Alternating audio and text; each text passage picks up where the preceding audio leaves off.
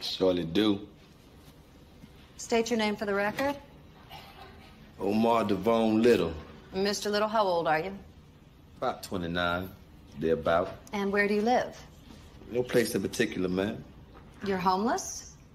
And the wind, so to speak. And what is your occupation? Occupation. What exactly do you do for a living, Mr. Little? I rip and run. You. I robs drug dealers. And exactly how long has this been your occupation, Mr. Little? Well, I don't know exactly. I venture to say maybe about eight or nine years.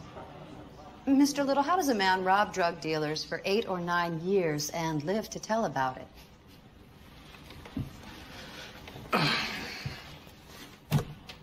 Day to time, I suppose.